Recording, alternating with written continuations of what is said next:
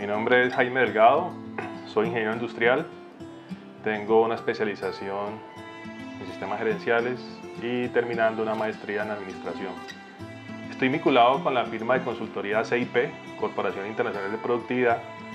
El trabajo del extensionista es básicamente de hacer los análisis, eh, presentar planes de trabajo y ejecutarlos para, pues, buscando pues, la realización de las, de las metas que se proponen en esos planes. De los principales problemas para poder ejecutar un plan de mejoramiento, yo diría que el principal es la falta de gestión al interior de las empresas. Pues la idea de, de, una gestión es que cuando se ataca un problema es que no vuelva a suceder.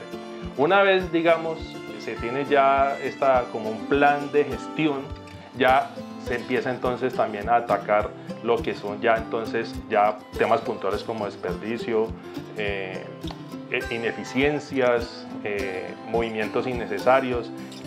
Finalmente un trabajo de estos, la consecuencia son al final mayores ventas.